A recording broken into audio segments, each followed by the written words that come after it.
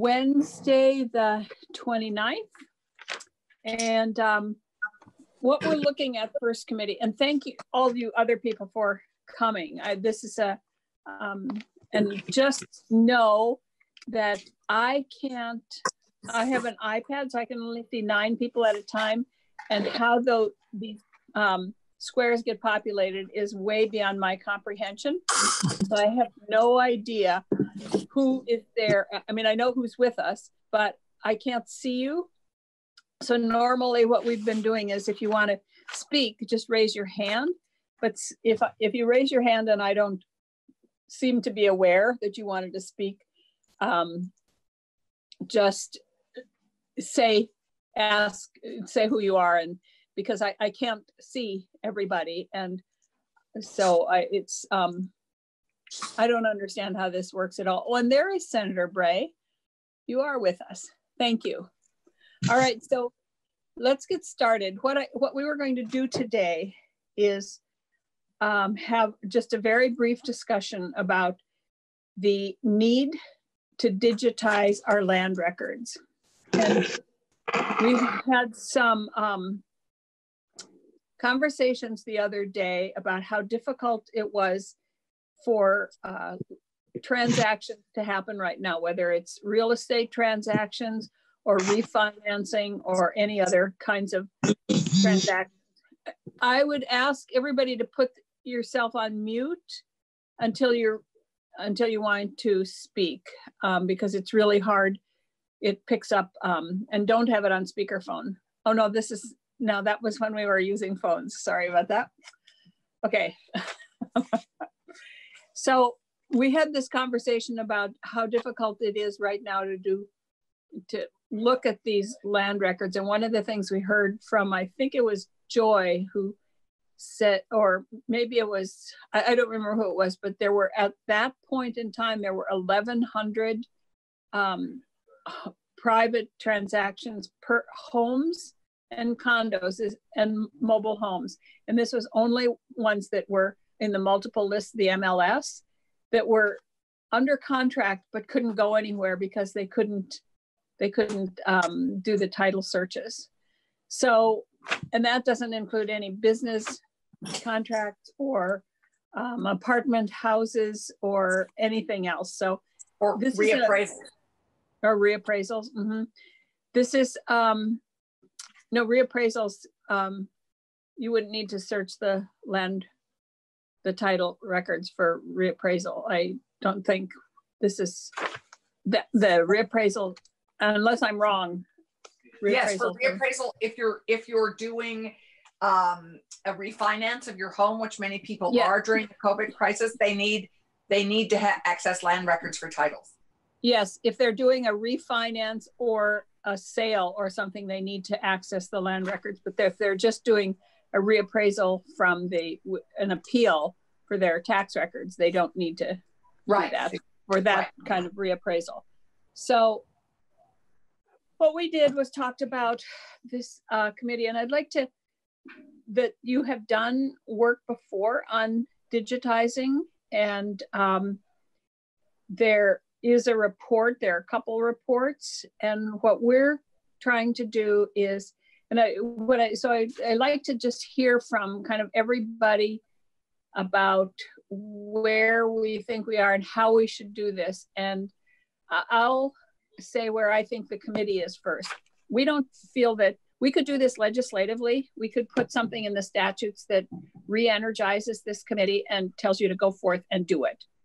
But at this point, we think it would be faster and easier to do it by just having you here and telling you to do it instead of having it have to go through legislation.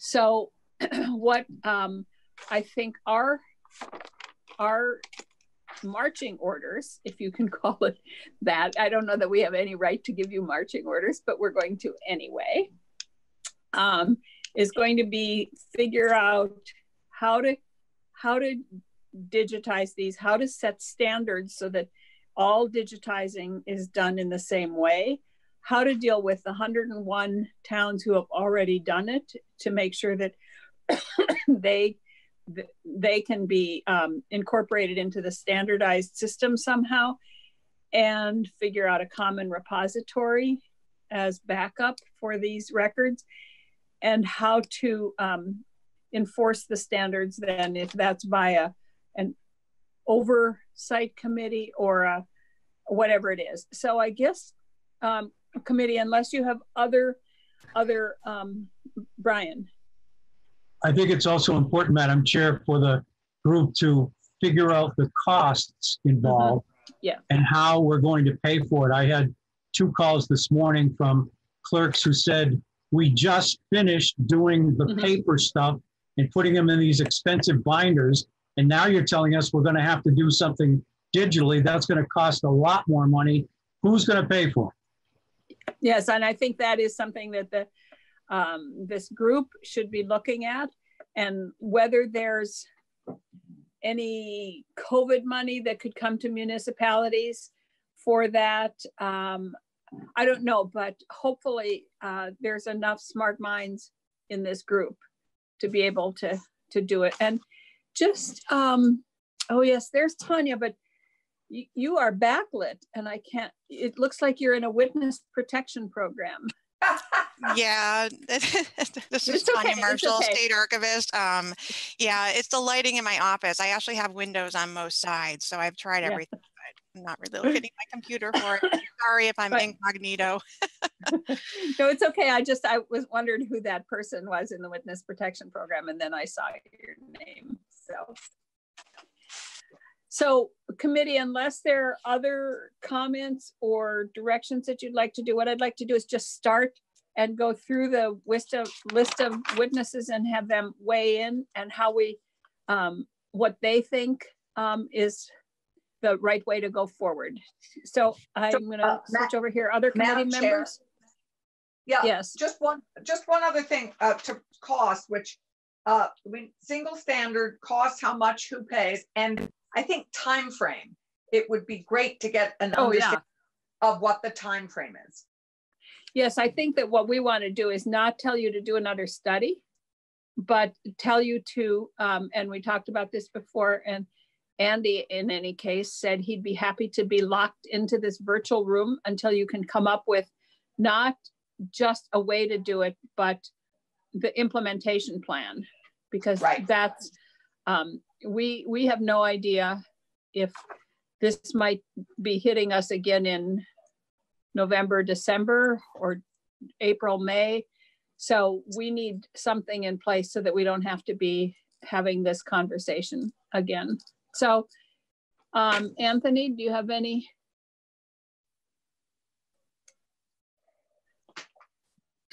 No, only to say that we're asking these folks to take on this task. And you had said that we're asking them to do this as opposed to legislation. But it is possible that the group, after coming up with its strategies, may have to come back and ask us to offer up some legislation. So it's not as if we're going to abandon you to the process. If you run into things where you think we need to change the statutes in order to make it happen or happen faster or allocate the money to make it happen, you will come back to us with ideas for statutory changes as well. Yes, yes, well said. Chris, do you have any comments? No, I mean, I, I was looking at my list uh, from last meeting on this, and you've gone over everything. And, um, and then Anthony added the last thing there. So we're okay. We're looking to help, but um, we know we're not the expertise to do more than try to facilitate. And we we could have just um, we supposed uh, just uh, asked you to um, do it, but we thought it might uh, somehow having a Senate committee at, invite you to come might seem more compelling to some people than just asking you to go away and do it. So that's why we're doing this and we're going to hear from people and then we're going to, as Anthony said, butt out until we're needed again. So with that, what I would like to do, I guess, is just, I'll just start and go in line of what my participant list said and have you weigh in and see what, um, where we are and if you have any suggestions and not necessarily today talking about how it could be done, but about the process and how you regard um, what we're asking you to do. So with, and I'm gonna put myself on mute until I call on the next person. And if committee members have any questions, please um, just raise your hand or shout out, okay? So uh, first on my list is Chuck Storrow. Uh, good afternoon, uh, committee. Chuck Storrow, Leonine Public Affairs. I'm here on behalf of uh, Connecticut Attorneys Title Insurance Corporation. And my contact at the uh, company, uh, Andy Michael, is also in this meeting. So, um, truth be told, I think uh, what I would do, Andy, sorry to catch you flat footed maybe, but turn it over to you um, at this stage. Okay, Andy. Thanks, Thank you, Chuck. Chuck. That was very concise, great testimony. we love it. Thank you to the committee, uh, Andy Michael, uh, Vermont Attorney's Title, and CATIC. Uh, thanks to the committee for taking this up, and I appreciate your your guidance and the, and the gentle nudge. Um, I think it is important for the the folks on this panel or committee, whatever we're creating, to understand our uh, our goal. Um, I think we're all ready to go. My vision, uh, I guess, and others can weigh in, or I, I understand the task to be to get in a room and come up with a, a single system uh, with some kind of rules and regulations and come up with the cost. And I agree, we if we come up with this platform, we will come back and likely need some legislation to, among other things, create a, a commission or some kind of regulatory body on a going forward basis that can implement the platform and the design. The cost will probably be a challenge. My vision is that we create a platform and we st start on day one and we move forward. And the second tier question may be how do we get 200 years of existing records into this system? That may be a different challenge, but I don't think, I hope it won't stop us from designing a new platform that at least going forward in five, 10 or 15 years, we don't find ourselves uh, exactly where we are now. I'm going to guess or, or, hope that within the first meeting or maybe two, this uh, ad hoc committee will be on one page uh, in terms of how we see it being implemented and designed. And if we're not, um, yeah, I don't know if we're going to be able to come out of our unlocked room, but we, we may have to report back that with some of the divergent issues, we're so far apart that either we do need legislative help or, or each group would go its own separate way uh, and come up with its different designs and present them to the legislature to, to choose one. But I do remain optimistic that everybody sees the problem, knows the problem, is committed to resolving the problem, that we can create one single uh, jurisdiction that anybody can access the land records and they'll be in a uniform uh, and concise recording system.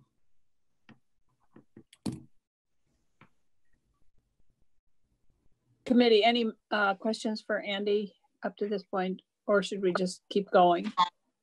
Yeah, this is Chris uh, Bray. Um, okay. I have a question for Andy, and that is, you were mentioning uh, 200 years worth of records, which I hadn't really thought about how far back they go. For towns that have already gone ahead and started to digitize, uh, have are any of them have any of them done all of their records, all extant records, or you know, just a, going forward, we'll digitize, but past is going to stay paper. Yeah, excellent question. And Tanya may be in a better position to answer it. I, I believe some municipalities have gone all the way back. I don't know how many, um, but even if they haven't gone back to the 1700s, they go back a very significant time period, which for 97% of title searchers, uh, they're generally looking for about 40 or 50 years of records. Um, and yes, the other ones are important, but again, to me, that's phase two or phase three, unless they already exist. And I will naively say, maybe it's as simple as pushing a button to get it from their existing digital platform to this new platform. But that's a question for a technology person, certainly not me. Okay, so I think we'll move to Bobby is next on our list. Hi, um, I've I've served on a few commissions and study groups in the past, and the question that's always been first in my mind is for the clerks that are not already digitizing, we need to figure out why they're not. I know in some towns it's going to be a, a, question of cost, um, but for some towns it's hesitancy on the part of the select board to allow it. And in some towns, it's a question of resources and time and technology. Um, but for the towns that have already done it, I, I don't see the need to build a new platform. There are really only a couple that are being used already in the state. I don't see why we need to build something new when we already have a couple of pretty good systems. I think we could simply build a website to direct people to the right portal. There are already portals out there, but we need to figure out why the clerks who are not digitizing, what's holding them back. I think especially now with with the situation we're in, I think most clerks want to do it. Um, all the clerks here in this virtual room right now have already done it, but I think I think we could encourage more clerks if we could figure out why it's not being done.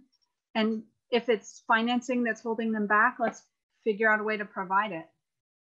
If it's um, technical expertise that's holding them back, let's figure out how to provide that. And if it's their select board that's not allowing them to, let's convince them. But I don't think we need to start over from scratch when so many of us do have so many years worth of records and we've already chosen the system that works best for our size town. I don't think there's going to be a one size fits all system that works for everyone. But I think I think most clerks want to do this. They're they just haven't been able to so far. And I so, know Don, go ahead. So perhaps this speaks to the need to have uh, not only the clerks um, here, but to have maybe um, a couple representatives from VLCT that represent the, that also represent the select boards and get them involved. Hi, well, this is Karen. Oh, sorry. I just wanted to mention that I am on the call. Thank you. Okay, Karen, I will put, I'll add you to the list here. Thank you. Sorry to interrupt. So I think that, and I, I don't know a lot about technology, but it seems to me that it is a little bit like, um, I know when we were talking about other things, it's a little bit like, um, and Chris D'Elia will understand this, like um, I can use my ATM card so that there's, there's kind of a spine, there's a backbone there. And even though I want to withdraw money from Brattleboro Savings and Loan, I, I can go to People's United Bank to their ATM machine and somehow that spine gets us all connected. And maybe that's the maybe that's the platform but that's something for you all to figure out how that will will actually work. So any questions for oh sorry bobby. Yeah go ahead. I think i think the biggest question that maybe the legislature will have to answer is how to pay for this. Yes. We we changed the we had the fee bill last year to say we have now have a restoration fund or computerization fund in every town, but it's going to take some time to build up the funds in towns that weren't weren't saving for this. And you are right. We we I don't think we heard from any clerks when we were doing that. I don't think we heard from any clerks that they didn't want to do it, but they, many of them, the select board hadn't set up the restoration funds. Do, uh, and some of them, some of them have their records digitized now and want to put them, make them accessible on the internet and their select boards won't allow it. Yeah. So maybe there needs to be some clarity about whose decision it is. The select okay. board the purse string. Yep. Allison, did you have a question? Uh, yeah, I, just on the subject of cost, it strikes me that uh, we have a, you know, the towns have paid for it to date. We do we. I have two questions. One is, it strikes me that it's a shared, probably a shared responsibility for who pays for it. That it's town and state, but that it. Um, I'm just curious how much our new fees have have brought in, or is it too early to tell? Do we have a notion of what that fund? Maybe Tanya knows what that fund has in it at the moment, or somebody. Well, it's a, the fund is at each town. Oh, the fund. Okay, so uh, Bobby, do you have a notion of how much that's raised additionally for you in Marshfield? Off the top of my head, no, because I put more in than than was specified. My town's been very supportive. We've had a restoration fund for years right. and we've put far more in than required. Um, in a town my size, maybe three thousand dollars. Yeah, and and do you have a notion? Do you have a? Can you give us a sense of what the co total cost was for you to digitize your records? Two hundred and twenty-five dollars a month, ongoing, and the cost of a scanner, a couple scanners, um, maybe a new computer, and, and when did you start it? So we get a sense of that 225 a month? June 1st, 2010. um, okay. And with, I, our, with our software, we are able to go back and put older records in. So we're back to 2002. But when did you actually start digitizing? June 1st, 2010. Oh, okay. 2010. So I don't want to get us to get too into the weeds here of what it, this committee will be dealing with, but mainly um, hearing from people about the process of the committee and stuff because we're we're not the ones that are going to figure this out. You all are. So Brian, did you have a question? I think I'll pass, Madam Chair. I had a question, but Bobby sort of answered it what I'm getting is it's unlike the law enforcement reporting system where we have two systems, Spillman and what the other is, and they're not compatible. But this is not the same situation from what I'm hearing. When when the commission, one of the commissions years ago had this exact same discussion. Um, we were told that by one of the committee members that his high school student could build a portal that would link to the land record system I have and the land record record system that South Burlington has. So you could have a website, you could say, I want to search records in Killington. Click on Killington and it would bring you to the portal that you need, or click on Barre City and it will bring you to the portal that you need. The okay. systems already exist. Yeah. As I said, I thought you answered that already. Thank you. All right, if there aren't any more questions for Bobby, thank you. And um, thank you.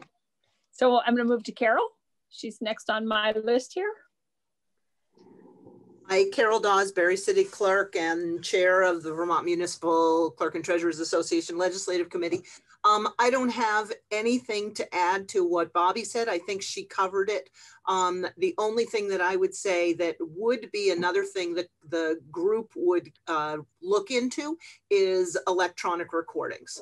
I know that's another thing that um, there is interest uh, in moving in that direction, and there is potential for legislation that would need to be passed to get us in there, to get us there. Um, so that's another item that would be on our agenda. Great. Any questions for Carol?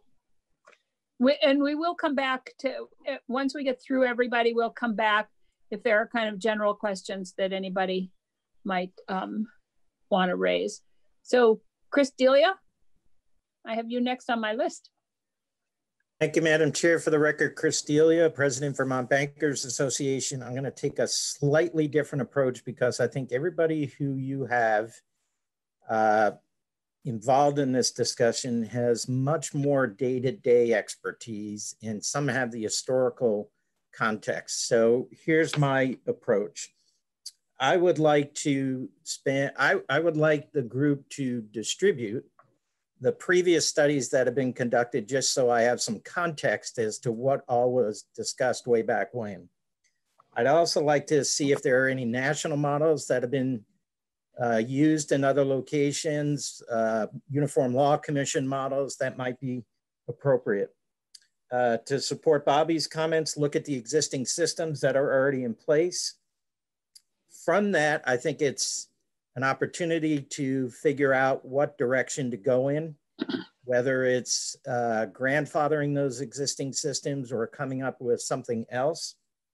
But regardless, regardless of what you come up with, identify the challenges and obstacles to going in that direction and then coming up with a plan to overcome those ob obstacles and implement. So obstacles being funding, obstacles being select board reluctance, obstacles being perhaps fee issues for town clerks, whatever those obstacles may be, put them on the table, given the direction that we want to go in and come up with solutions for every one of those. Look at the opportunities. Uh, paying for it, I don't think we can wait till digitization funds are well capitalized at the town level. We've got to come up with something else that is going to get this off the ground because as Bobby has demonstrated with their diligent efforts, not a lot of revenue in a cap in a digitization fund that's going to uh, perhaps accomplish the task that we're looking for. So I say that with just wanting to get a little bit more context so I don't repeat the previous, uh, I guess, uh, discussions, if you will, and, and, not get anywhere. I don't want to get so bogged down with that, but it would be helpful for context. And then pick a direction and let's go and over to overcome all of those obstacles that people are going to put in our way. Sounds good.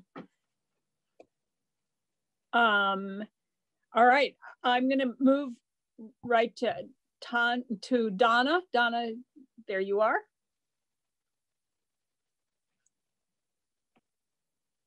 You need to unmute yourself. You can do it. You're you're you're muted. There we go. Oh, there you are. Now I am. I don't like Zoom. I'm used to go to meetings. Um, oh. I agree with most of what Bobby said, or almost all of what Bobby said. Um, I just to give some perspective, I was on the Land Records Commission back in the uh, somewhere around 2005, 2006, which lasted for a couple of years. Um, and we went through all of these discussions you're having now. Um, and it came to be um, the realization by the clerks, there was a separation to give some context, separation of what the clerks and thought they could have versus what the state and everything else wanted. The states, the clerks wanted to maintain our records at our level and as Bobby stated, one of the IT people from the state said his, his high school student could build that portal. So you could still have towns which have the records at their location. They process them as always, they digitize them, they put them in the system. And then what would happen is that someone would come into Vermont Land Records. They would click on South Burlington and they wouldn't even know they left the site. They would all of a sudden South Burlington records would show up. Uh, it was that easy that, that um, done. Um, unfortunately, that IT person was replaced on our commission, and we have someone else who came in, and um, so it kind of got hung up at that, and the commission kind of just died because we couldn't seem to move forward. Um, so uh, uh those are my biggest things. Um, but one thing I do want to put out there, um, I know Senator Clarkson um, said about all the number of back uh, sales that aren't taking place. I know majority of the clerks in the state went against the governor's executive order and they were there in the office behind the scenes. They were taking phone calls, they were emailing documents out to people. We weren't the only cog in all of this. I mean, the listeners were also yeah. cogs in this, the bankers, the, the, everybody was. So I want to make sure we pull this back yeah. from that this is a clerk issue. And this isn't a clerk issue because many went above and beyond. I know myself, we're still letting people in silently um, so they could do their, their work at, at our risk. Yeah. so um, that's all I wanted to say.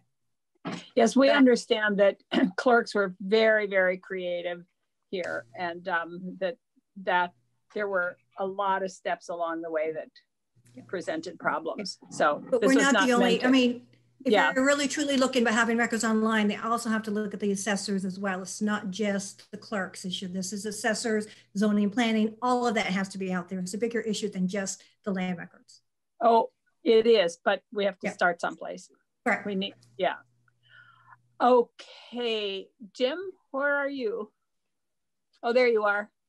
I'm here. Um, I really I, don't have anything to add. Oh, wait, did uh, did I hear somebody? Oh, I guess not.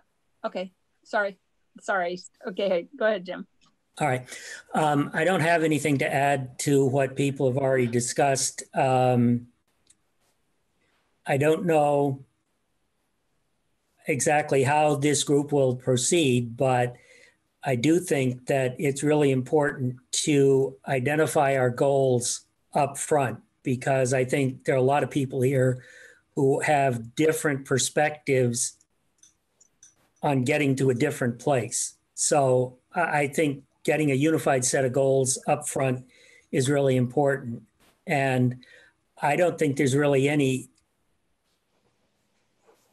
interference with getting this done other than money. And I think people are going to be surprised at the cost of how much how much it's going to cost, particularly if you're going to do historical, because starting today and going forward is great.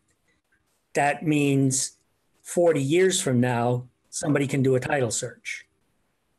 If we think there's going to be a resurgence of this problem in December, and we will not have finished the process of even beginning digitization by December. So realistically, we're talking a couple of years here to get this system up and running. But um, I think funding is going to be the big issue. And we're really going to have to help a lot of the smaller towns. I mean, I, I unfairly certainly pick on Tinmouth and Baltimore when I'm doing seminars because I know those are two very small towns if they have a couple hundred dollars in their newly created fund, I'd be surprised. And I think you're talking thousands to tens of thousands of dollars to get towns up and running and back at least somewhere between 50 and 80 years of records. And if you take tens of thousands of dollars by 150 towns, 175 towns, that's an impressive amount of money. And with that, I'll wait and hear what other people have to say. May, may I ask a question, Chair? Yeah. Yes, please. Uh, Jim, it's good to see you. I'd like to go to your first comment. Um, other than the fact I represent Baltimore, the only town in Vermont that has no paved roads. Um, I, I would just like to ask you about when you talk about unifying the goal. Uh, for I, I think it would what do you view the goal being? What do you view the goal being? Okay. The highest the highest level goal is that someone anywhere who needs access to Vermont land records should have a single place to go and access those records. That means you need to address both public access, as in a portal to get there. You need the records digitized. And those are two separate processes. That, yeah. that because you digitize your records doesn't mean they're automatically online. I, I think Bobby mentioned, and I'm a big fan of this. We've got two companies that have been digitizing Vermont land records for a long time. And they all have portals. And they know how to do it and they know how Vermont records work. They've created their index process. They've created all the mechanisms to make this work. We really should be seriously looking at not starting over, but using those two systems and helping the towns that can't afford or can't convince their select board to do it to build on those systems because they work. And yes, I know some practitioners say, well, it's really expensive to use one of the other systems. It is. It's expensive to maintain an online portal with digital access to these systems. You can't you can't do this for free. That this is going to need money to get started, and it's going to need money every year to keep that process going. Did I answer your question? I'm never sure if I answered the question. No, it, it, that's exactly what I wanted you to say, which is that, that that's a great, those are great goals. I, I applaud them. And um, I, I think you're right. And I, to go back to Andy's comment, I think we're going to have to phase it, you know, phase 50 years, but, and then next phase, you know, and if you guys will figure that out, but it's clearly, and it's, I, I'm amazed that one town, uh, Bobby's town has spent over $2 million doing this already, or 270, no. 270,000 already. That's a lot of money. Allison, I, I yeah. believe that Bobby has a correction there. I don't think that that's what she said. No, $250 a month. It started at 200, it started at $200 a month when I, I started. Said, yeah, 225 a month times 10 years. That's a lot. So that's 30, maybe $30,000. 225 anyway, it doesn't matter. You guys will figure it out what I what I also want to make clear is the money that we're getting in the because of the fee bill, the four dollars a page that's allocated, that's enough to pay for my system. That's enough for anybody with my volume of records to get that system done today. And Madam Chair, I'm going to show my, I'm going to show my ignorance finally by asking Bobby what the monthly fee is for. Is that to maintain the records? that is that is fee. that is the licensing fee for the software that I use. Oh my goodness, I didn't realize that. And okay, I'm um okay. Are we okay with that? Yeah. Yeah. Okay. Sure. So I'm going to move to Joy. Oops, I have a question, Madam Chair. Oh, I'm sorry. For Mr. Knapp, um, or Bobby, actually, since, but the, when you're talking about um, a, a couple major pieces of software that do this, Brand X and Y, I don't know what they are. Um, does do they also host all your records, uh, or are they local and all you're paying is this, the fee to to run that software in your shop, but all the records are actually served off of your own spot or are they in a in the cloud in a repository?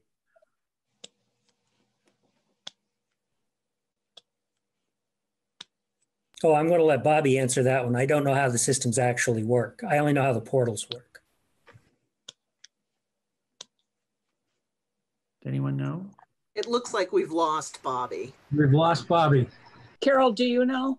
Yeah um, with the system that we have in Barre City, um, and just to give you a frame of reference, our system costs uh, about $13,000 a year, so a little over $1,000 a month.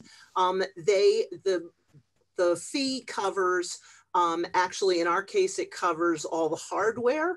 They have provided us with um, computers, scanners, printers, uh, so it covers the hardware, it covers the hosting um, for the scanned documents, indexing, um, the online access, uh, and uh, they also uh, archive our documents um, by way of microfilm. So. Great. And just one more, because this is really about the whole central repository question. When, when when someone calls up your records, are they actually speaking to a computer in your office to get that data, or are they speaking to the company that you use to get that data? They're speaking to the company. Thank you. Sorry, my I'm sorry, my Wi-Fi quit. So the problem with uh, electronics jumping out in the middle of you. All right, so are we ready to go to Joy? Okay.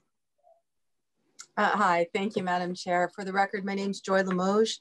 I'm an attorney in Williston. I serve as general counsel for Vermont Federal Credit Union, Equity counsel for Northfield Savings Bank.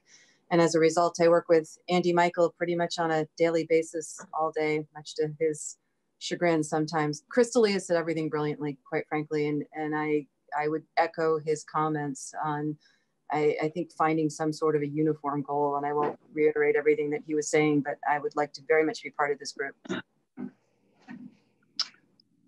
Okay, great. Any questions for Joy? Yeah. Okay, okay. Yes. I just, I'd like to applaud her historic clock behind her head. It is spectacular.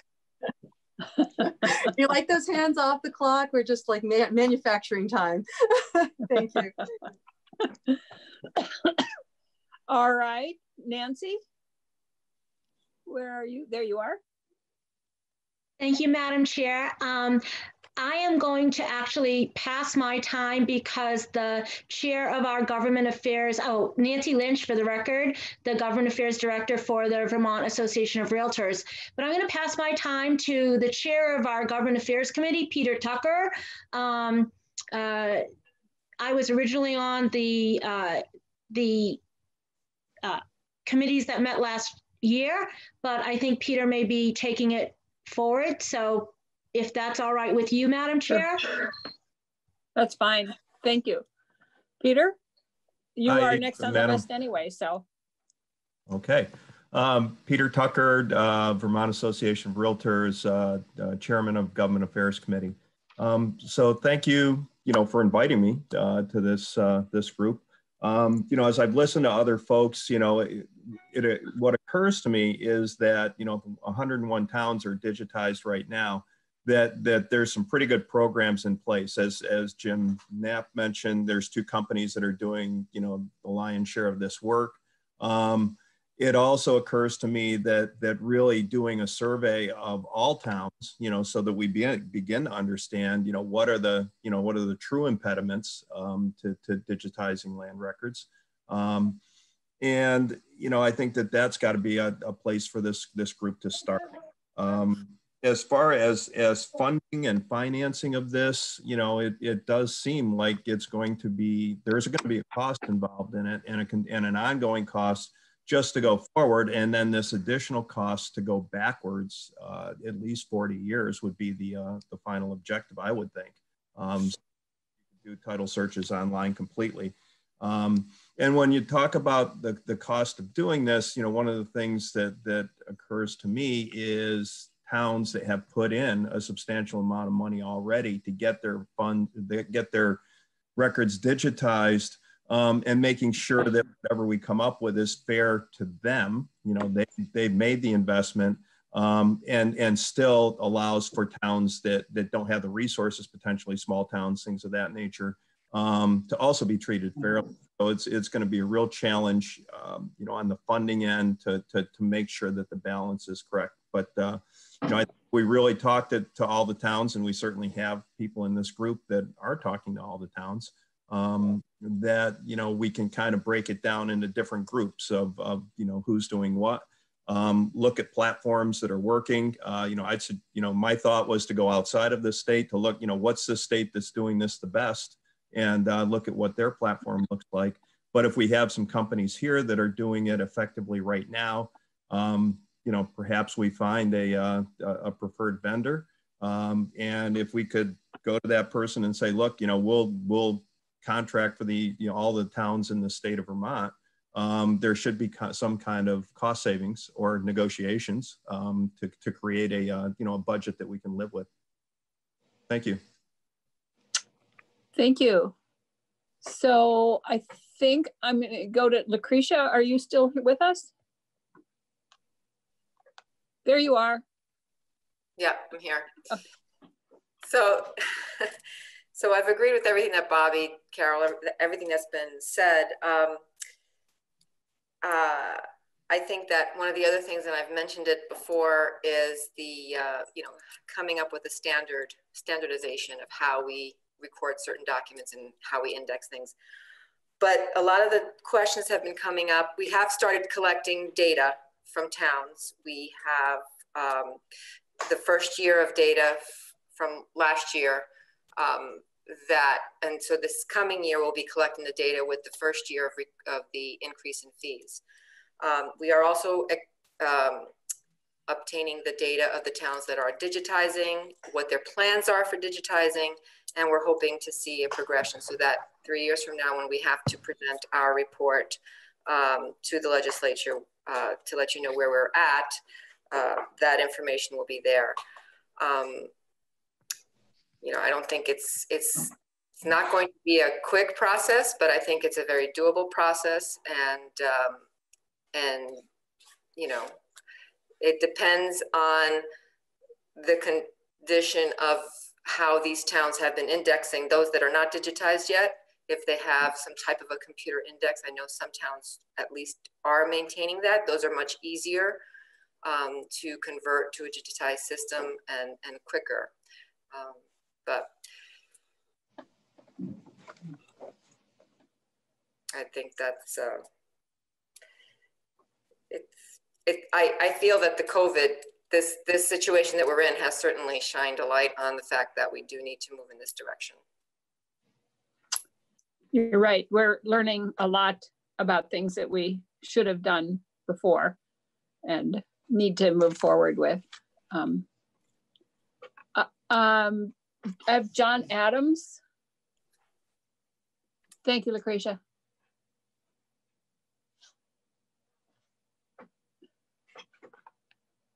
Hi. Hi. Hi. Uh, I'm John Adams with the director at the Center for Geographic Information. Um, and I'm just here interested keeping tabs on how this evolves, uh, learning about you know the challenges municipalities are facing, um, seeing if there's any insight that we can we can add as as issues come up. Uh, we manage the statewide pro um, parcel property uh, program, digital uh, parcel program. So uh, anything we can do to make our systems more interoperable um, the future of digital land records, uh, we'd like to. Well, you are now part of this committee. Great. okay. Um, Terry, are uh, you here? Uh, who, who's trying to speak? Um, somebody? Madam Chair, it's Chris Bray. I have a question yes. from Mr. Adams. Okay. Um, so, John, I'm just trying to understand the relationship between land records at the municipal level and your parcel maps. Um, are, are, you just getting a feed from the town, or are you have you constructed these this data set from scratch? So um, the construction of, of, the the initial data set, which was completed uh, late last year, was uh, a, a three-year project um, that involved uh, contractors uh, across the state and, and many um, existing, leveraging the existing work that a lot of municipalities had done. Uh, so we essentially created a standard and tried to had everything fed into uh, a single statewide layer. And now we're in the process of keeping it up to date. And to do that, um, we do it a number of different ways. Some municipalities do keep their own parcel data up to date and they um, feed it to us and then we integrate it into the, the statewide layer. Um, some of the contractors that they work with will uh, deliver us the digital data. And then some municipalities, you know, are not going to be able to, to maintain this over time. Um, so our approach to that thus far, and it's it's still very new, is to um, take digital surveys. So so now uh, any survey that's for a subdivision or boundary line adjustment that's recorded in the land records, we receive a, a digital copy from the surveyors. From, from that, we can um, draw the line work, and then every year when the uh, grand lists are submitted, we can we can try to join those. So it's um, uh, we take the best available information we could get from municipalities and, and go from there. And is it I don't know enough about these records, are the records that you have for municipalities that have not digitized their own records, are they potentially a data set that could sort of jumpstart the municipality's own data set or are they enough different that they're, you know, they're similar, but they're always going to be two different sets? Well, uh, it certainly helps them with their parcel data, but I think that land records are, are totally are totally separate. Okay. Um, you know, the um, the line work that we get, the surveys are just a fraction of what is recorded as, as, as land records in the um, municipalities. Thank you. Um, okay, I have Terry. I have you. Are you here for this? Um, yeah. Can you, hear me? Yes. I am, and I'm so sorry to be late. I went from your other um, Senate committee, Senator White, um, to a conference call that went longer than expected. But it looks like if Andy Michael and Jim, Jim Knapp have already spoken, I'm sure they have covered anything much better than what I would cover. I just wanted to say on behalf of the bar, we're so grateful to you and your committee for being willing to uh, take this whole issue forward. Um, it's something that a lot has been done on in the past, and I think we're very much poised to go next, and we really, really appreciate your leadership. Thank you. Um, thanks, Terry. Uh, we've seen a lot of each other this morning. Uh, Karen, are you still with us?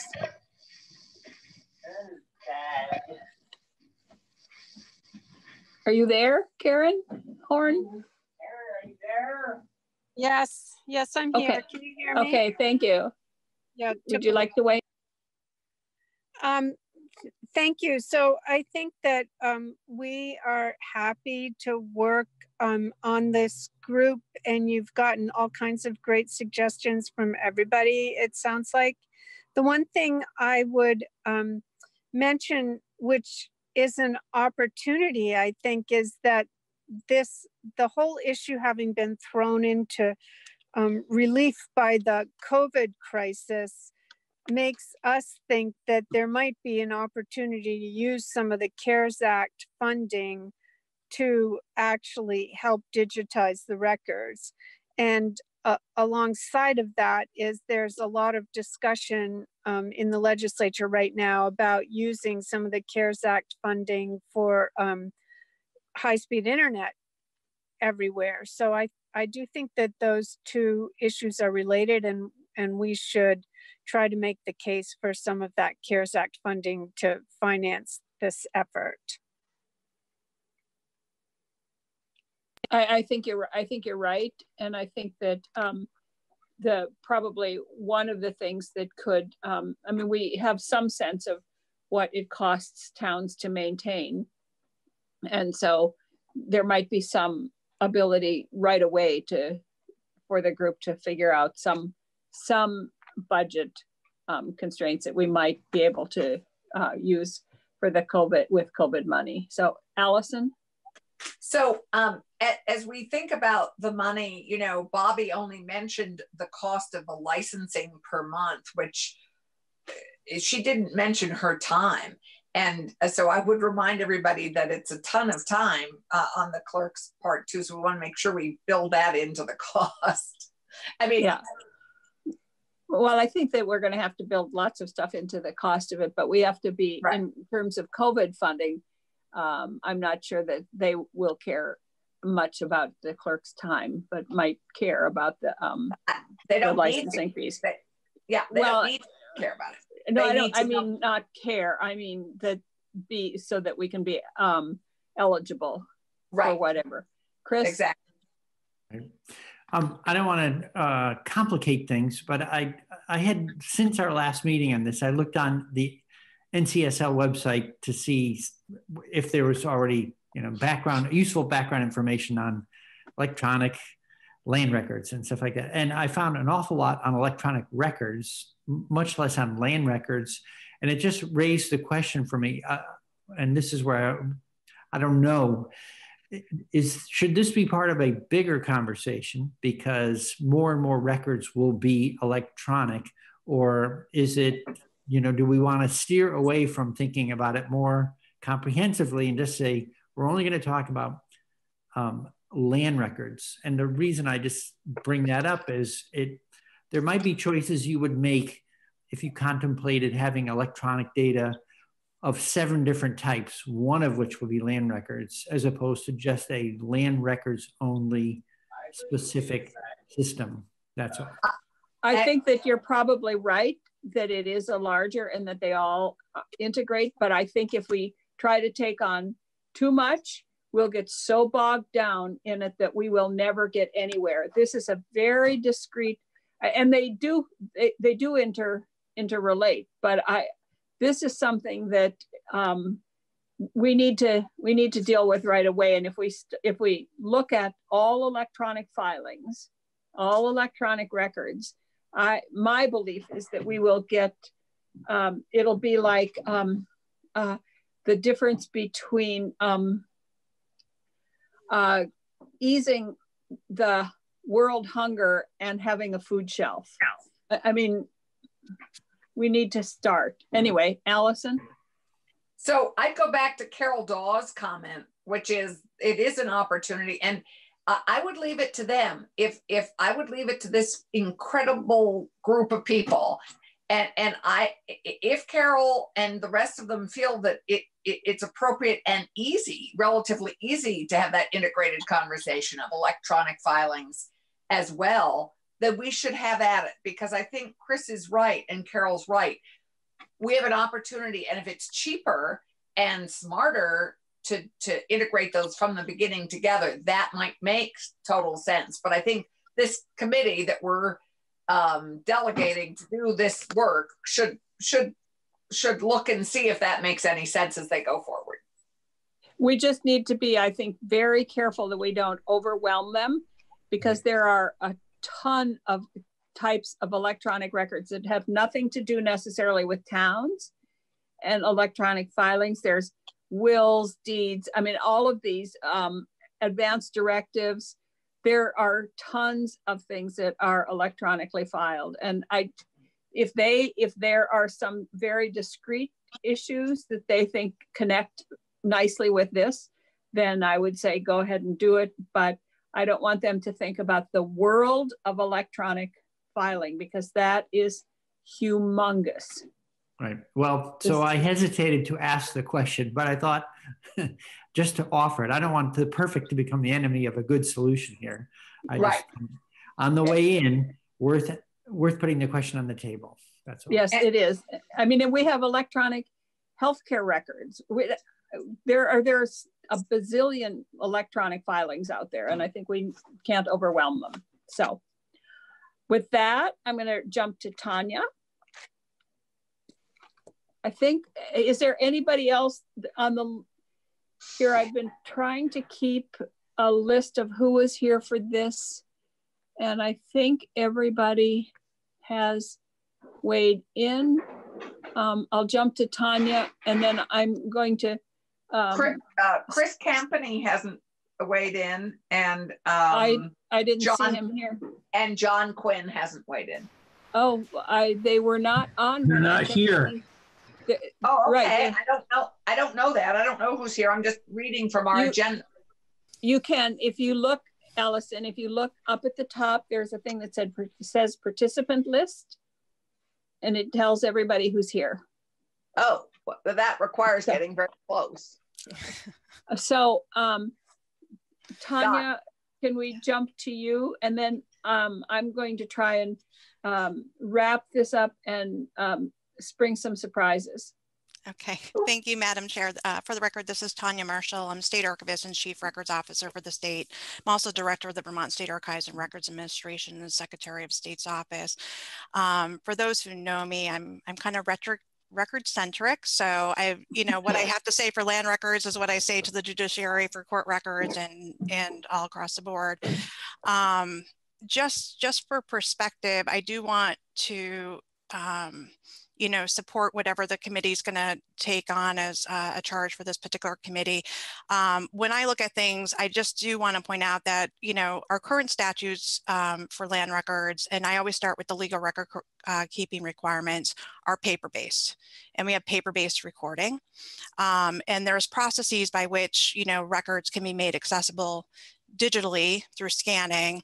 Um, but in order to make them actually continue to be viable there's a lot of requirements around standards for that. So when we work with agencies and departments and different um, public agencies across the state, um, I just want everyone on the call to kind of recognize that our current laws require paper-based records and paper-based recording. And so, you know, for the work that's being done within the towns and digitizing, there's always a liability or risk that occurs when the laws don't match what's actually being done in practice. Um, so I just want to have that kind of laid out for that. Um, the other part is that um, to get to Senator Bray's question is that everything that's being digitized is electronic. So there so we're talking about electronic records. Um, there's also a component for digital preservation, um, and that is something that, you know, statewide, the Vermont State Archives and Records Administration has a digital preservation system. We're the only ones in the state um, that currently have that. Um, one of the charges that I have as um, state archivist is to always look for opportunities for enterprise systems. Um, so in other words, like we're providing digital preservation support or on target to do that for different state entities, including the judiciary, uh, which means that those records will be preserved in um, our system, but we don't own them. They're owned by the judiciary. So I just want to point out that there is a component for electronic records. If we expect to access them 10, 20, 30, 40, 50 years from now, that those records have to be in a digital preservation system, um, and that system can be attached to an actual uh, recording system. Um, so those are those just, I just want to lay that part out. You know, with the land records, um, I think Donna Kinville and I go way back as Bobby as well um, for the Municipal Land Records Commission and so forth. Um, you know, I think it's what the committee decides or what the legislature decides to do, but I do want to point out that there's a roadmap. Um, when I hear digitizing records, it makes me really nervous because the roadmap that we see in other jurisdictions for recorders are really going on to electronic recording. And the benefit that we have that other states did not have or that we did not have when the um, Municipal Land Records Commission, which which I chaired and then Donna did, um, were you know there's industry standards and best practices across the board for real estate or real property documents. Um, there you know there were a lot of early adopters in the late 1990s and early 2000s um, who have really just coalesced nation nationalized. So there's a lot of industry standards and best practices. There's a suite of unified or uniform laws um, that are available. Um, we've already adopted one of them the um, un Uniform Electronic Transaction Act came out in 1999. The state of Vermont adopted that in 2004. Um, but there's also the uh, Uniform Real Property Electronic Recording Act, um, and that doesn't actually make um, any electronic recording happen, but it does enable it to start um, with certain conditions. It does require a public body or a state agency to be a standards entity. Um, and then there's also the revised uh, Uniform Law on Notarial Acts. Um, the state of Vermont just enacted portions of that last year. There's been a 2018 update. Um, so I, I hear a lot of the digitization and that makes me nervous because I really think at this stage, if we're really trying to move ahead as a state, we really have to talk about electronic recording. And what does that do? That allows the ability moving forward for electronic to electronic transactions. It allows clerks to do what they're currently doing which is underneath that it gives them the capability by actually scanning a paper document that comes in and making accessible electronically. And that's the big difference in our current law is there's a gap in there. So it doesn't mean that's going to cause issues, but when I look at marketability title and potential, there there's just a legal gap that's enough there that we do see areas and outside of this that can cause some type of issue. Um, so I think there's little baby steps, but we don't have to reinvent the wheel, but it's really whatever, you know, this group really wants to do. But, you know, as state archivist, I'm always looking, I mean, land records are archival, they're permanent records. We don't want to lose them. Um, it's really talking about what is the best approach moving forward with the, the next recorded document that comes in, and then retrospectively looking at everything that's been recorded and preserved, because it's really the paper or microfilm that is the legal preserved copy for everything up into a certain date. Um, but if we're looking at the big picture, you know, and I look at my charge, I want to make sure these records are preserved. I want to make sure that they're, you know, um, preserving rights and that we have the right types of systems to support the clerks and what they need to do. Um, and so, you know, my charge does include, you know, enterprise systems to try to keep cost and low cost. So whether it's something that we look at the digital preservation that we system that we use and try to have that layered on something, I'm open to that. But I'm just here to kind of support whatever decisions made on moving forward. Um, but I'm always going to be looking out for the records and just making sure that we're putting ourselves in the best position to not lose records and also not create liabilities for anyone. Thank you. Thank you. So I I actually think that you're here for far more than that. And um, I'm, I'm going to do something now. I'm going to say that we will, our committee will write a letter to all of you who are here today, summarizing a lot of the issues that were brought up and where we think that you might be moving in what direction and encouraging you to do that. We can't make you do it because there's no legislation to make you do it, but we're hoping that you will so that if everybody can make sure that Gail has um, your email, we'll send it out to you and ask you also to have additional people that you think are um, necessary to to do this, to work with them. Um, I think that we will not call this the Land Records Digitizing Committee, but we'll call it the Bringing Our Land Records into the 21st Century Task Force. And because I, quite honestly, the difference between electronic records and digitizing kind of escapes me, so I'll leave that up to you all. And I would like, um, don't faint here, but I would like actually to ask Tanya if you will convene this group and then you can choose a different chair if you want, but we need to have somebody responsible for kind of uh, moving this forward. Um, thank you, Madam Chair. I, I would be happy to convene the group if that's what the committee would like. Second.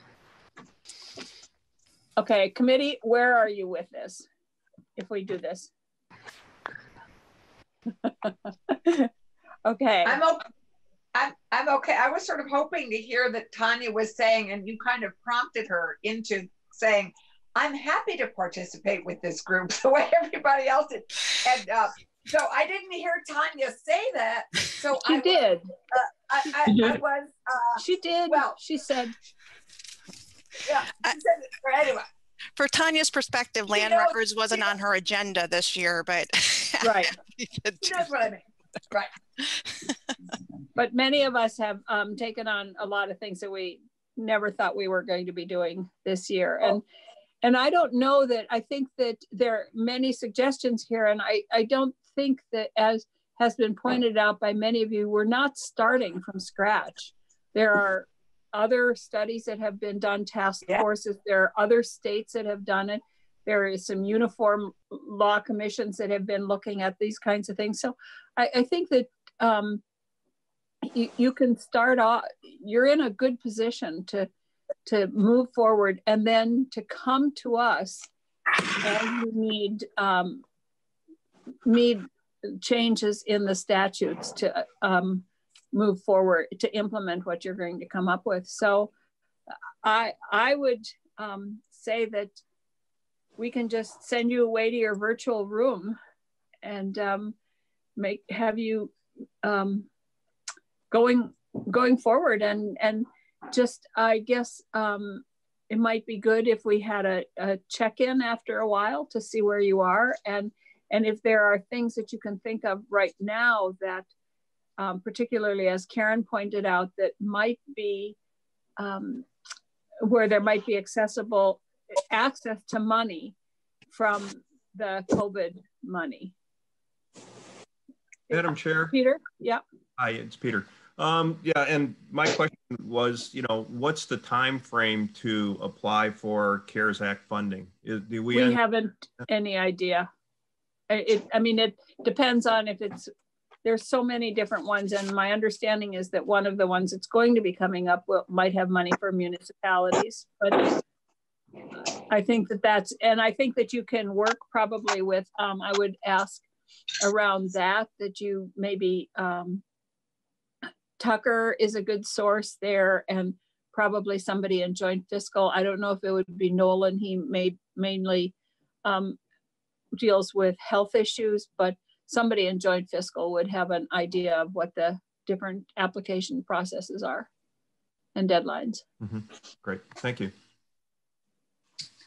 Any other questions or anything before we jump to our next issue? So thank you, everybody. This was really helpful and I will send out, there are tons of um, things in here that we would like to put in, I think, into your charge or whatever we're calling this. And thank you so much for being willing to do this because I think that this, and you're right, this um, will take some time, but had we start, had we actually implemented something and been serious about it in 2000, uh, I think the last study was 2006 is what I'm remembering, we wouldn't be here right now. So the as we've been told a lot of times the best time to start was 10 years ago, but the second best time to start is today. So, all right, thank you. Thank you, Thanks, everybody. And you're certainly Thank welcome you. to stay around and keep joining us. We're going to deal with um, quasi municipal boards right now. So feel free to stay with us. How to clear a room. oh, really? I have to see that your experience of that. It just happened. Oh my God. Yes, look at it. it goes boom, boom, boom, boom, boom. Yes, they're all leaving.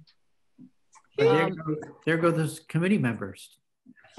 no, no. Committee members can't leave. All right. So, um, and I just got one of these pesky invites, a notification. I, I want to get rid of all of those. Anyway.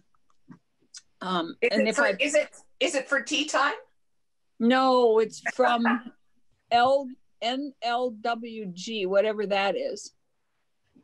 The golf courses aren't open yet, Allison. So if I press on that, then it tells me that I have to go away and then I have to enter back into the meeting because anyway, you don't want to hear all my woes. Um, so, so Chair, you know those annoying notifications that keep popping up? Yes. At some moment when they pop up and you're not running a meeting, uh, if it's if your system is the same as mine, I'm on a laptop, not the uh, pad, but I think they're very similar. At the very bottom of that list, there'll be a little thing that looks like a gear. You click on that thing and you can say, hey, thanks very much, but stop showing me notifications. But that's just for that one person, right? Uh, no, you can, there's, it will list all the applications that are allowed to jump into that notifications window. And you can just say, I don't want any, thank you. Oh, okay. Yeah, I don't want anything. I get, we get all these from NCSL and webinars and notifications from BDCC and they also send emails. So, okay, thank you, Chris. Okay. Okay, where are we with uh, Tucker and Karen? Where are we with um, our quasi judicial? And did we get anybody here? Any um, appraisers or um, Doug Farnham was here for a bit, uh, Madam Chair, but he's left. Okay. And was he here from PVR? Well, I mean, he's he, with the tax. Yeah, he was listed as one of the uh, witnesses for the two o'clock session. Okay. He had some time constraints, though, so he wasn't able to stay. Oh, dear. How about Jill Remick? Nope she had tried to get in earlier and then I had communicated with her and she hasn't returned. And I don't believe Lisa Wright will be joining us either. Well, well, do we know anything more than today that we can do today? I mean, are we any smarter today than we were yesterday without them? I can only speak for myself, and the answer is no. yeah, me too. So Tucker and Karen, I guess, are going to have to tell us if we're smarter. Tucker? Well, we have a draft from Tucker. you were all plenty smart to begin with. Uh, I don't have much to add that would make any of us more smart at the moment. Uh, I sent you all an email earlier today with some clarification on the statutory deadlines that we were discussing yesterday. And I apologize. And, and that's, that's up on our web. That's up on our website yes. too. Okay. Yes. And I apologize for talking about the deadlines that were in statute because I didn't realize that the deadlines that are in statute are automatically and mandatorily extended by a subsequent statute. But for some reason, when that was drafted, they didn't go to amend any of the deadlines listed in statute. They left them and had a separate statute that says all of those deadlines that we've listed get extended by 30 or 50 days. Yeah. Um, so my sincerest apologies. Um, I received more information uh, from Abby Shepard, who passed along some testimony that was submitted to the House Ways and Means Committee um, maybe last week or the week before. Uh, and that describes decisions that were made by the Department of Taxes to uh, automatically extend the filing of the preliminary grand lists to uh, August 15th. That is at the discretion of the municipality. Um, uh, but from what I understand, at least that initial step has been taken. I'm not comfortable and I don't quite understand how that will impact all of the other um, hearing and appeal deadlines that you've been looking at because they are not directly addressed in that extension um, order that the department put together. I will say that the last statute that I highlighted in the email, uh, when combined with the authority you granted to administrative agencies in Act 92 to extend deadlines that are applicable to municipalities and to grant municipalities some authority to extend deadlines that are applicable um, to licenses, plans, other issues. Um, there may be some wiggle room there for the department to exercise authority to extend these deadlines um, for all municipalities without receiving a request from the municipality.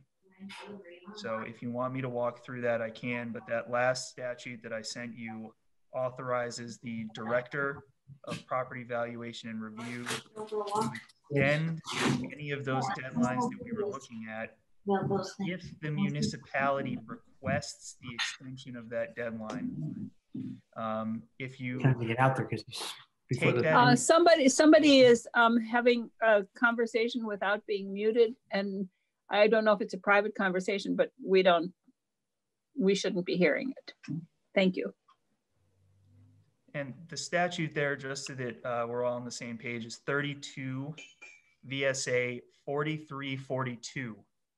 If you look at that, the authority that it grants to the director, take into consideration some of the authority that was granted in Act 92, there may be an argument that the department has the ability to extend uh, all of these deadlines for the municipalities at large, which is something that appears they've already taken a step to do with this filing of the preliminary grand list, uh, extending it to August 15th that is all that I have. I summarized it in the email. Um, I don't know how this necessarily impacts the policy choices that you've been presented with as to whether to suspend the in-person meeting requirements um, or the um, in-person inspection. inspection requirements. But those, at least you have a better map of the uh, timeline than before. So I do see that Doug Farnham has rejoined us.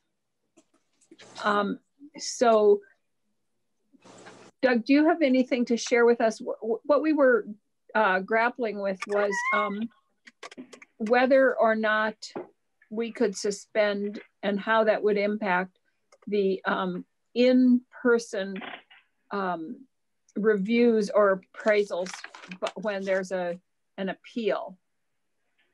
Right. Um, so for the record, Doug Farnham, Deputy Commissioner for Taxes. Um, for the committee, um, I've previously been the director of property valuation. I was most recently the policy director. Um, so the grand list processes and um, everything are pretty close to my heart. Um, and um, one thing that I actually worked with the legislature successfully on while I was PVR director was making the um, the inspections from the state hearing officer. So essentially, after the BCA level, the appeals can go either. Doug, to, Doug we're kind of losing your voice. You've just oh, that's odd. become Sorry. muffled. Don't have your ma- you don't have to have your mask on when you're in a virtual Uh, meeting. Is that coming through more clearly now? Yes. Oh, sorry. I think I had it too close to a speaker and the magnetics were interfering. Um, so, uh, sorry, train of thought. Um, after the BCA, the appeal from the town can either go to the Superior Court or the state uh, hearing officer. And one thing I was able to do working with the legislature was to change that state hearing officer inspection to be discretionary. So my personal opinion is that um, in-person inspections are not necessary to, do, to resolve a property tax dispute. I really think that you can document and you can, uh, you know, either provide pho photographic evidence or video evidence to resolve these disputes. So I do think that it is prudent um, to remove the in-person requirement. I actually do think long-term um, it, it is worth considering that it, it shouldn't just be, uh, it doesn't necessarily need to be an emergency measure, but I would understand why you would only make it a temporary measure, uh, moving something this quickly. So I do have a question about one of the things because I thought that what we heard was that if if a town if a an appellant um, refuses to allow the in-person inspection, then it is as if they are um, giving up the appeal. And I, I can't remember if it was Tucker or Karen that I think it was Tucker that talked about that. And if that is currently in the statute, how can we um, get rid of the um, the mandatory the in-person inspection and yet let the um, town continue with the appeal? I, I guess those two Right. things conflict in my mind.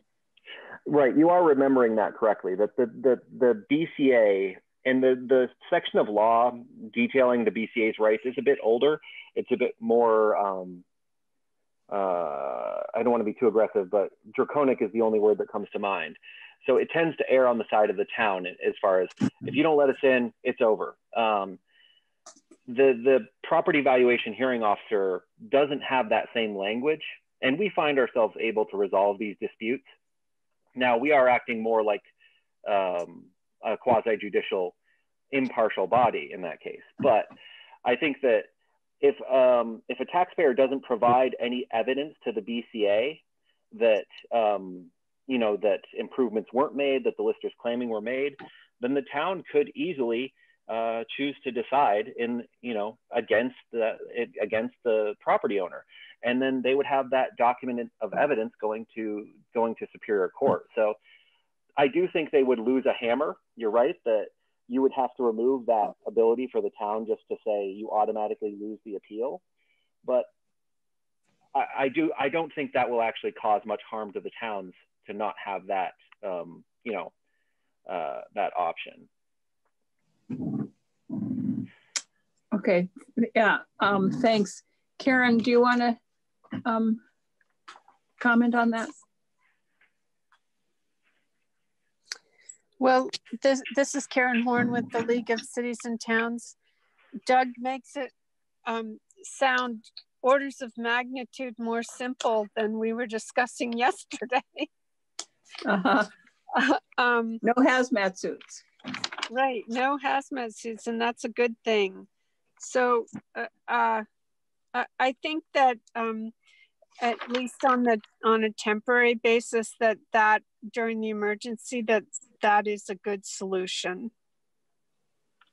So do we need any legislation or anything to, to do that? Because the, the, it sounds like PVR already has the ability to to kind of waive that and um, I I think that this is Karen Horn again. I do think that um, we might want to say something, and and Tucker may be able to speak to this, but it sounded to me like the House Government Operations Committee was um, quite concerned that there might not be clarity around that issue. Tucker? I lost you all for just a moment, so I would need someone to give me the issue that House GovOps was looking at. So Karen, whether there whether there need that there needs to be the in um, there whether there needs to be the physical inspection. My understanding was that House GovOps was concerned that there um, that there might need to be legislation to allow that not to happen. Right. The concern is that uh, if the statute continues to require an inspection, a physical inspection, and the town doesn't conduct it, that they're essentially creating a procedural defect that the property owner can then appeal on. So they're essentially, by not inspecting the property and carrying through with the procedures and statute, they would be handing the property owner the ability to appeal whatever the decision of that board is. Um, and because of that defect, they wouldn't really have a good basis to uh, fight or defend the town on that issue. So uh, the option that was discussed in committee was temporarily suspending the inspection requirements um, to avoid those procedural issues and to also avoid any possible contact between the board members and the property owner. Um, the discussion has gotten much more um, intimate and complex in this committee, but that was kind of the, the basis of the issue. So I, are they, I'm a little confused as to how legislation is happening right now. Are they starting are they going to introduce legislation that does this that just temporarily um, uh, does away with the need for physical or are we doing that or do you know how how this is all working they started the discussion and it was my impression that they were going to wait for this committee to take action on the issue before okay. they did anything with it Brian? It's just a suggestion. We have a joint committee with the House Government Operations Committee tomorrow to take up the uh, uh, issue of elections. Could we just add this to the agenda since we're already given the uh, virtual communication? Yeah, good idea. And then we can figure out how we start. If Tucker, if you could have something drafted, uh, and Doug, I we it may be uh, what we often refer to as well most people refer to it as belts and suspenders but i often get it mixed up and call it boots and suspenders. But um, the so that um, towns feel a little more at ease about eliminating the need for a physical inspection. Um, madam so, chair may i elaborate? Yes please. Um, so i and and Karen picked up on it. I probably talked uh, too quickly and was trying to be too concise. So what I was trying to say was that the, from the department's perspective, and we're advisory in these contexts, we don't we're not a regulator here. So this is primarily just advisory. Um, we wouldn't be concerned with a law change to remove that physical respect, inspection requirement. I do tend to agree with the House GovOps perspective that a law change would be prudent. And that if you didn't remove that, I do think it would be a liability for the towns. So I was okay. I was jumping too quickly, I think. Um, so I would recommend a, a, legal change in this area. Okay, but I think what we'll um, make it a temporary legal change um, instead of a permanent one, because if it's going to be permanent, I think we need more conversation. Of course. Yeah. Okay, so Tucker, could you get something drafted so that we could look at tomorrow when we meet with them? Yes, and I would just ask what the list of policy decisions that you would like to be presented in that is. So the issues that were brought up, um, the first part of this discussion that you all discussed last week and yesterday was whether uh, you should suspend the designation of physical meeting locations for these boards and for the listers. Yes. Okay. So uh, I will make sure that that is ready.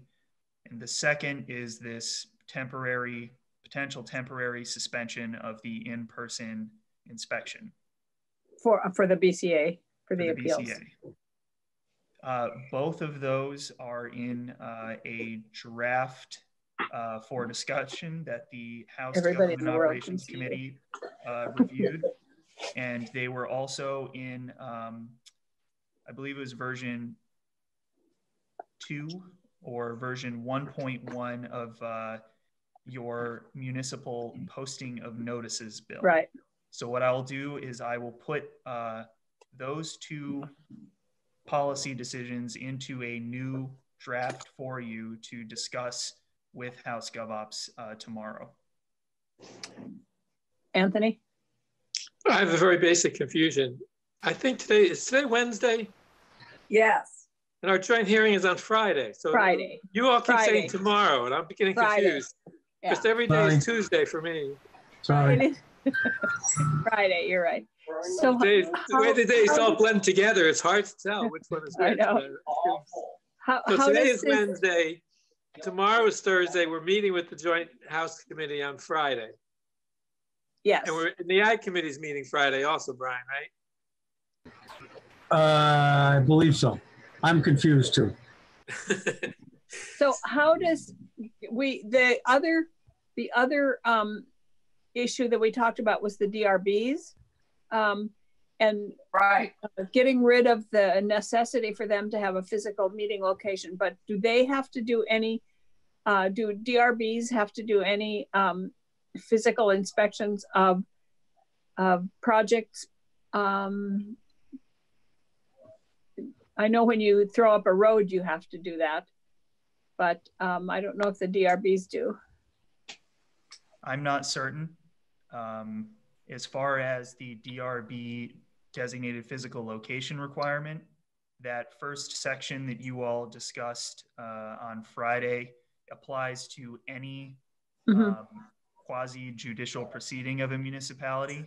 And it was drafted broadly enough to make sure that it caught not just the grand list related appeals, but also the DRB Mm-hmm. And because there are numerous quasi judicial panels that might be floating around in Title 24 that we hadn't caught yet, it was drafted as any quasi judicial proceeding tied to um, similar electronic procedures. It's the open meeting law. And finally, there was a blanket clause added in there stated that they could hold their meetings electronically so long as they complied with all the other requirements for the conduct of those proceedings. And that clause was added in to make sure that the only um, procedure that was being suspended was the designation of the physical meeting location and the ability to hold the proceeding electronically. So if, if there is a requirement for them to meet at uh, the brownfield site to figure out what's happening there. That doesn't go away.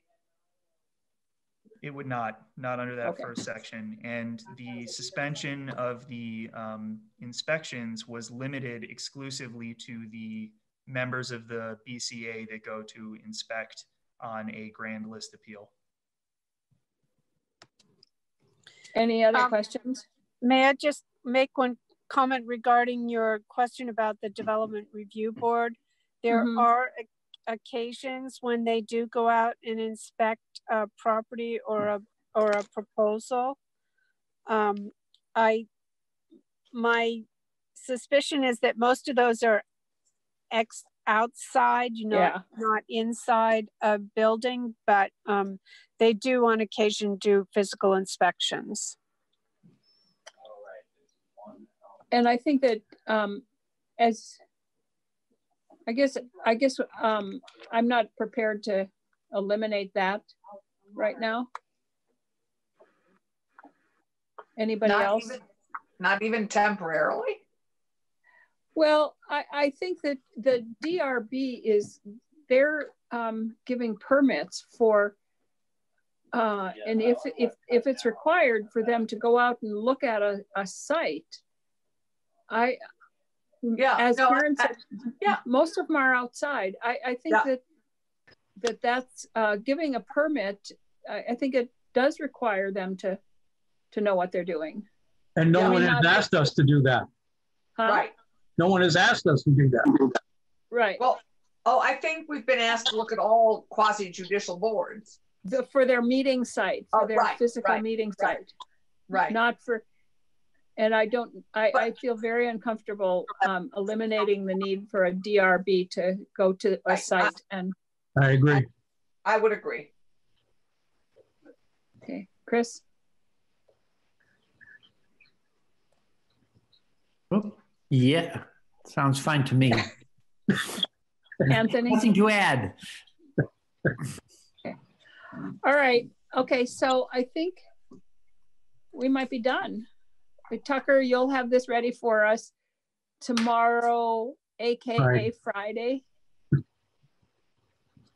Is that right, Anthony? And uh, for tomorrow, AKA Friday, would you like this to be a standalone committee bill or should I prepare the draft to be added to other work that the committee is doing? Uh, which is the other work we're doing? I don't know. I don't think we are doing any other work right okay. now. I think this everything the, else. Yeah, everything else we did is already passed. Okay. Yeah, and and anything else we're doing we're doing kind of by letter. Okay.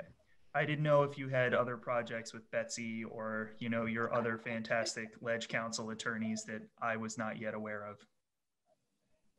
No, I, I don't think we do. Do okay. we, committee? No, I just I have questions with that are with Tucker that I sent before. So I, I, I just await his wisdom on other things. Okay. Yes. Does somebody just said senator? I don't know who that was, but, or maybe not. Maybe it was somebody in my house saying senator.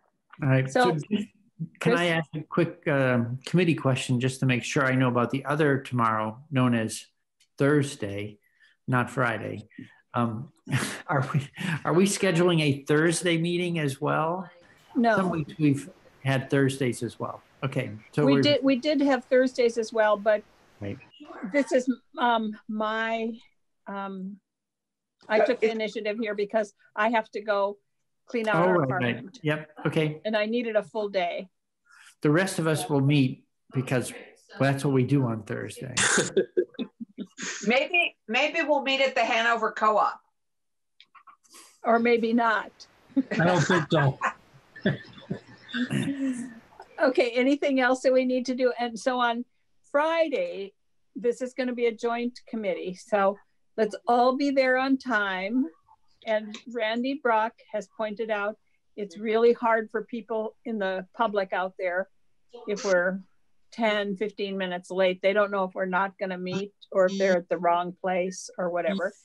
It's going to be a joint committee, and I have no idea how it's going to work because that'll be uh, 17 people.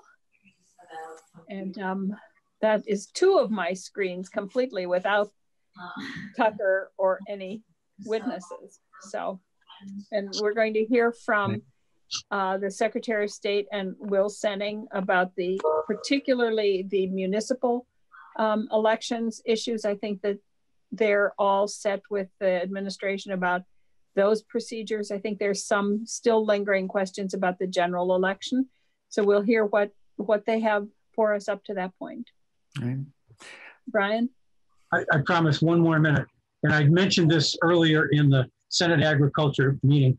I watched the Rules Committee meeting this morning, and there's a seven days article about the long delay of the all Senate meeting earlier this week. We went 20 minutes before we started, and they wrote a piece about the fact that we were surreptitiously deciding policy issues before we went live. And we have to really be careful if we're going to join a meeting 10 or 15 minutes ahead of when it's scheduled, that we do not take up any policy. Yeah. We can talk about the weather and what we're wearing and all that kind of stuff, but we should not get into any potential uh, open meeting law uh, situations. I'll just I'll just mention that. That's all. Yep, uh, you're you're absolutely right. Um, Chris? Um, Madam Chair, it seems uh, I, I haven't been watching the clock that closely. It seems like we've been pretty well starting on time. Is that not right? Yes, we yeah. Well, well we were about six minutes late today. Yeah. Okay. It it falls in line with what we do in the state house. Let's put it that way. Actually, maybe even sooner than the state house. Perhaps so. and and it is hard because I know that, um, like Anthony and Brian just got out of ag and I, I just got out of judiciary about 20 minutes before we met, but um, yeah, so, but we, we do need to be careful about, about that. Sure. Um, okay. Any other, anything else that we need to? Nope. Uh, okay. It, it is a pleasure to see you all and work with you as usual. Wait, let me see if Gail has anything she needs to. Gail? You I do not have anything. Um, I will ask everybody who's attending Friday's meeting to log in earlier, and I apologize for the late login today. Um, but uh, we'll see you at 10 of on Friday afternoon. Great. Thank you. Thank you. All right. Thanks. Bye. Bye. Thanks, everybody. Bye. Have a good walk. Yeah.